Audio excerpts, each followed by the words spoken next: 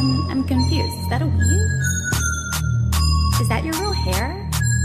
Bundles, bundles, bundles. Hit that plug up for the bundles. Alright, what's good, y'all? So today I am applying a wig to my friend's head.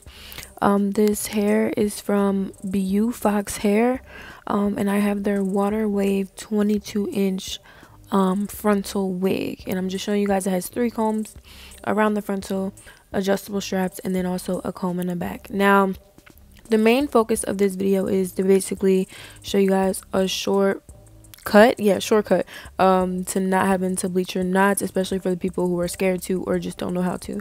So this is the lace before and i'm just going in with the airbrush legs. I got it from target um and i have the color medium brown i believe and i just had nisha hold the wig up and i literally just sprayed it all over the lace um be generous with it, uh, especially because it kind of rubs off on your wig cap a little bit.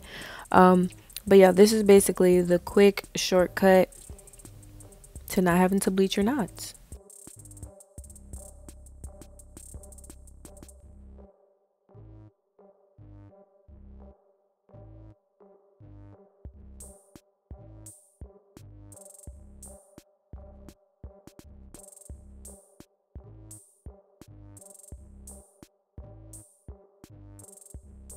Now i was gonna stop here but i knew that would be like a super short video.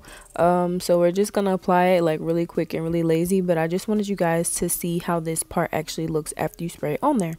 It looks like freshly bleached knots. Now i do want to say overall this wig was very nice. Um the ear tabs were kind of like not there so we kind of had to make some um like cut off extra lace and try to make like a round shape so that it would fit um, around her ears. Other than that, um, pretty satisfied with the hair.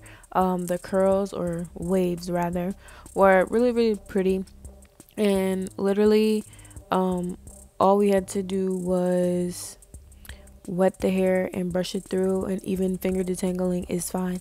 Now the main reason why i decided to do this method with this wig was because i tried bleaching the knots and they did not turn whatsoever. As you can see in the beginning like it didn't look like i touched the wig at all. Um so this is basically the hair fresh after a wash.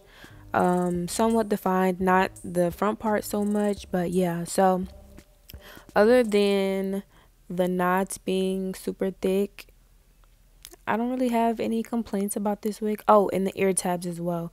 Um yeah. If you have a big head the ear tabs will probably be a problem for you.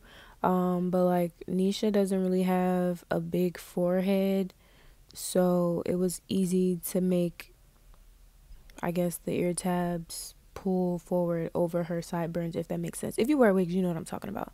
Um but yeah y'all y'all don't don't mind this application. We were just messing around but i really just wanted y'all to see the part like while the hair is like laying down. So for the rest of the video i just kind of applied it really quick and made some super thick baby hairs. Don't come for me okay? The video is not about the application. It's about um, a shortcut on not having to bleach your knots. so yeah, um, if you guys try out this method, make sure you um, let me know on Instagram, Snapchat, Twitter, whatever. Um, but yeah, love you guys, and I will see you guys in the next one. I it, it's mine. I it, it's mine. I it, it's mine. I it, it's mine.